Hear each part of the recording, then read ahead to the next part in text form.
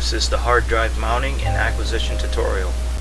Today we will be using CAINE, a live Linux CD to, to image a hard drive.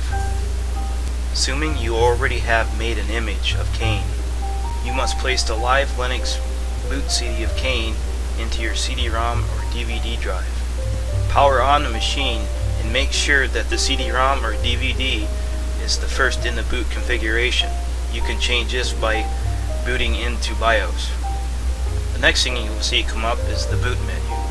Here you can choose between different options. There is the live boot from the CD-ROM, the boot live in safe graphics mode, start the installation directly, boot live in text only mode, boot to the live system, if a video problem occurs, boot from live without flash, run a memory test, and boot from the first hard drive in the boot configuration. We will be using the boot live system, which will boot in to CAINE. Next we will use Disk Mounter. It can be located on the taskbar.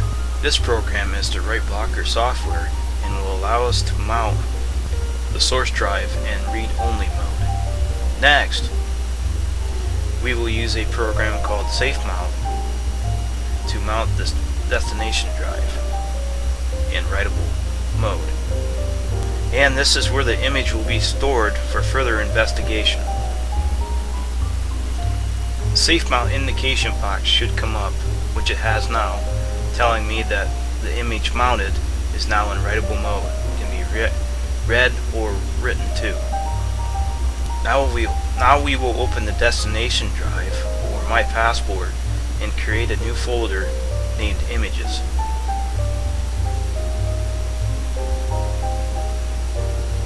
This is where the acquired images will be stored.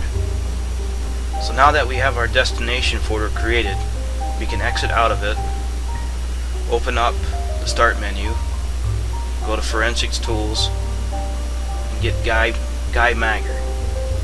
This program is, is an imager and will acquire an image from a source drive and by right clicking on acquired image you'll see this window will appear. It will give you an option of three file formats. The Linux the data duplication format, expert witness format, and advanced forensics image format. Next I will give the acquired image a case number. I will call this case number Fire, Fireball case number 1. Evidence number, I'll just call it 1. Examiner, I will use my ID. Description, I will call this uh, UPB lab image. Those that it came from a lab image machine. Notes I will keep the same as the default. I will select the image directory where the image will be stored the folder we created on the passport will be our destination drive. I will make a new folder and name it Fireball Case 1. Not to be confused with any other image that I might copy to this destination drive.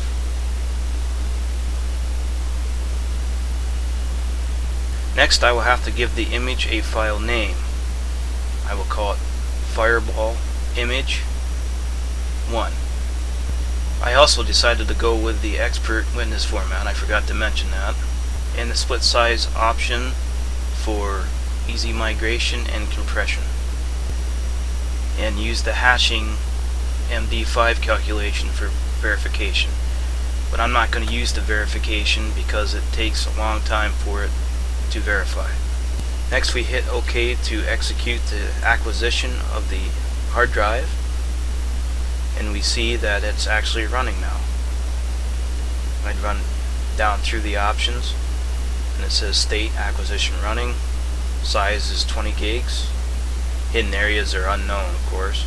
Um, no bad sectors and the progress bar is at 1% this takes a long time to complete so I'm going to pause the video and come back when it's finished.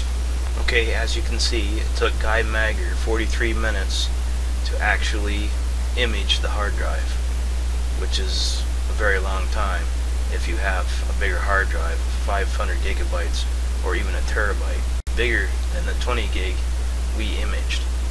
Now I will open up my passport and actually see if the image completed. It'll take some time for it to load and I can see that the image actually was sent to where I needed it to be sent on the destination drive. As you can see the image is split into 10 2 gig files and I will display the information file for you and this will tell you that Guymager actually created this image give you the time, date, and the timestamp it was created. Of course here are some other forensics related tools that come with CAINE that are included with the system. Uh, CAINE's interface makes it easy to compile a report of the image and of the acquisition and of the actual analysis of the forensics part of it. Uh, Autopsy is the FTK toolkit for Linux. It is a GUI for the Sleuth Kit, which is a bash command line program running in terminal. Uh, Foremost is a, a file recovery using the header and footer of the file to recover data that has been lost in the file. And of course, the mounter and safe mounter mentioned in the tutorial. Thank you for tuning in to this podcasting. I hope this was very informative to the people who are starting with CAINE. If there is any questions or suggestions you wish to add, please add it to the comment box below. Uh, and as always, thank you for tuning in and stay tuned for more videos.